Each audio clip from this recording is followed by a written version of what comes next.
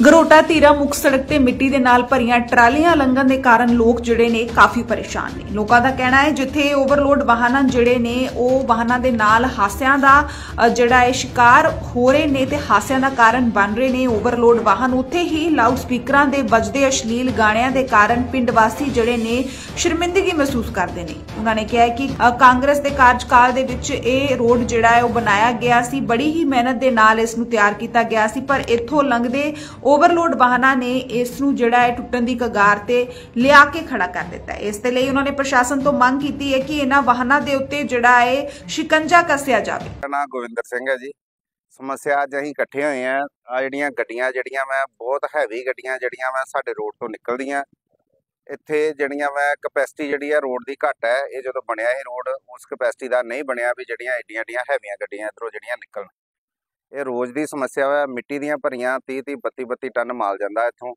ਸੜਕ ਘੱਟ ਗਈ ਪਹਿਲਾਂ ਹੀ ਟੁੱਟ ਗਈ ਹੈ ਤੇ ਇੰਨੀਆਂ ਵੱਡਾ ਇੰਨਾ ਲੋਡ ਚੱਲਦਾ ਇੱਥੇ ਇਹ ਰੋਡ ਦੇ ਉੱਤੇ ਤੇ ਤਾਂ ਕਰਕੇ ਜਿਹੜਾ ਇਹਦਾ ਨਾ ਰੋਡ ਜਿਹੜਾ ਇੰਨੀ ਕਪੈਸਿਟੀ ਨਹੀਂ ਚੱਲ ਸਕਦਾ ਤੇ ਉਹਦੇ ਕਰਕੇ ਰੋਡ ਸਾਡਾ ਥਾਂ ਥਾਂ ਤੋਂ ਟੁੱਟ ਗਿਆ।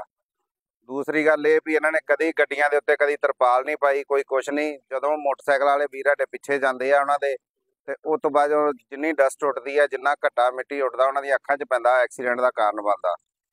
ਨਾ ਇਹ ਇੱਟਾਂ ਵਾਲੇ ਇੱਟਾਂ ਵਾਲੇ ਜਿਹੜੇ ਆਂਦੀਆਂ ਗੱਡੀਆਂ ਜਿਹੜੀਆਂ, ਕੁਛ ਭੱਠਿਆਂ ਤੋਂ ਇੱਟਾਂ ਭਰ ਕੇ ਜਾਂਦੀਆਂ ਵਾ।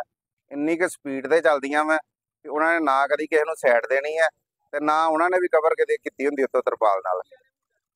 ਸਪੀਡ ਬਹੁਤ ਜ਼ਿਆਦਾ ਪਿੰਡਾਂ ਦੇ ਵਿੱਚੋਂ, ਜਿੱਥੇ ਕਿ ਲਿਮਟ ਜਿਹੜੀ ਆ 20 25 ਦੀ ਸਪੀਡ ਦੀ ਲਿਮਟ ਚਾਹੀਦੀ ਹੈ ਪਿੰਡਾਂ ਦੇ ਵਿੱਚੋਂ, ਉਸ ਹਿਸਾਬ ਨਾਲ ਇਹ ਘੱਟੋ ਘੱਟ 60 70 ਦੀ ਸਪੀਡ ਤੇ ਜਾਂਦੇ ਆ, ਨਾ ਕਿਸੇ ਨੂੰ ਸਾਈਡ ਮਿਲਦੀ ਹੈ ਤੇ ਸਪੀਕਰ ਜਿਹੜੇ ਆ, ਤੁਸੀਂ ਦੇਖ ਲਿਓ ਆਂਦੇ ਜਾਂਦੇ ਕੋਈ ਵੀ ਦੇਖ ਸਕਦਾ, ਜਿਹੜੇ ਆ ਟਰੈਕਟਰਾਂ ਦੇ ਜਾਂ ਗੱਡੀਆਂ ਦੇ ਅੰਦਰ ਵੀ ਇਹਨਾਂ ਨੇ ਸਪੀਕਰ ਲਾਏ ਆ, ਬੜੇ ਬੜੇ ਵੱਡੇ ਸਪੀਕਰ ਆ।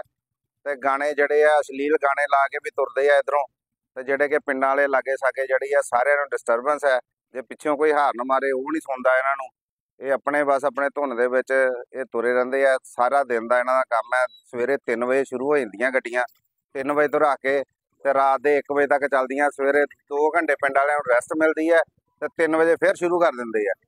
ਨਾ ਨਾ ਨਾ ਇੱਧਰ ਕੋਈ ਇਹੋ ਜਿਹਾ ਕੋਈ ਹੈ ਨਾ ਪ੍ਰਸ਼ਾਸਨ ਨੂੰ ਅਸੀਂ ਇੰਨੀ ਵਾਰ ਬੇਨਤੀ ਕੀਤੀ ਹੈ ਕਿਸੇ ਨੇ ਸੁਣਵਾਈ ਨਹੀਂ ਕੀਤੀ। ਇਸ ਕਰਕੇ ਅੱਜ ਇਕੱਠ ਕਰਕੇ ਤੇ ਆ ਗੱਡੀਆਂ ਰੋਕੀਆਂ ਗਈਆਂ ਵਾ ਤੇ ਤਾਂ ਕਿ ਅਸੀਂ ਕਿਹਾ ਵੀ ਸਾਡੀ ਆਵਾਜ਼ ਜਿਹੜੀ ਆ ਪ੍ਰਸ਼ਾਸਨ ਤੱਕ ਪਹੁੰਚ ਸਕੇ। ਇਹ ਗੱਡੀਆਂ ਆਉਂਦੀਆਂ ਆ ਜੀ ਹੁਣ ਤੇ ਅੱਜ ਤੇ ਪਤਾ ਨਹੀਂ ਸਾਨੂੰ ਕਿੱਧਰੋਂ ਆਈਆਂ ਇਹ ਆਂਦੀਆਂ ਘਰੋਟੇ ਵਾਲੀ ਸਾਈਡ ਤੋਂ ਕੇ ਭਰ ਕੇ ਲਿਆਂਦੇ ਆ ਇਹ ਤੇ ਅੱਗੇ ਪਤਾ ਨਹੀਂ ਕਿੱਧਰ ਜਾਂਦੀਆਂ ਇਹਦਾ ਨਹੀਂ ਸਾਨੂੰ ਪਤਾ।